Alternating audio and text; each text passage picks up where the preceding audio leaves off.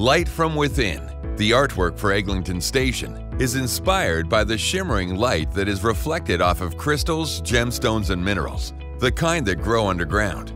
As transit riders go down the escalators into the station, the artwork gives you the sensation of entering a beautiful crystal cave.